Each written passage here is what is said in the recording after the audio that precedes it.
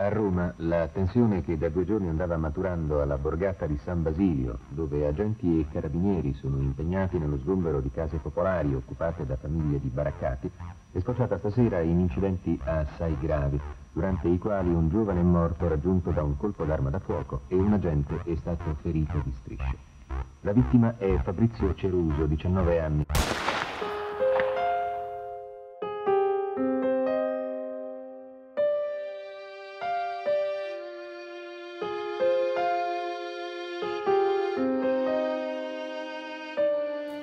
Poi che vi racconto? Ma che vi devo raccontare?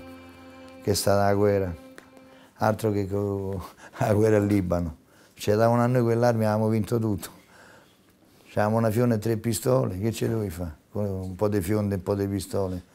Sai già ammazzarli tutti per come sono comportati. In mezzo ai fumogeni non si vedeva niente, infatti Fabrizio è morto in mezzo ai fumogeni che non, non sapevano neanche chi gli aveva sparato, tra l'altro chi diceva la polizia, chi diceva invece un'altra persona, finché all'ultimo insomma so, hanno riscontrato che era stato ucciso da una guardia.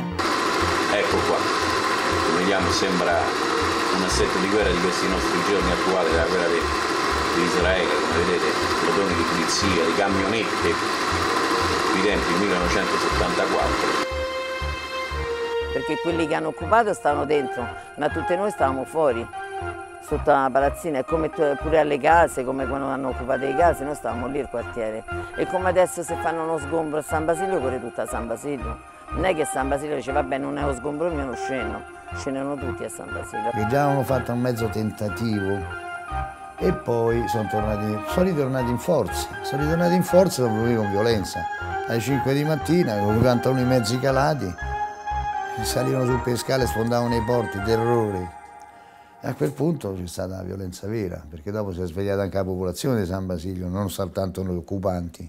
E lì poi sono venuti i ragazzi ad aiutarci, studenti, tanti altri bravi ragazzi. Dei poliziotti praticamente, siccome che erano tantissimi, stavano dislocati nel quartiere praticamente e quindi c'erano scontri su sta via, scontri sull'altra via più giù, quindi diciamo quello fu il momento più, più alto de, dello scontro che c'è stato. L'occupazione che mi ricordo del 74, cioè queste famiglie eh, disperate perché non c'erano casa come, come, adesso diciamo, però all'epoca erano molto, molto più uniti, si, si aiutavano uno con l'altro e, e per questo la lotta si è fatta.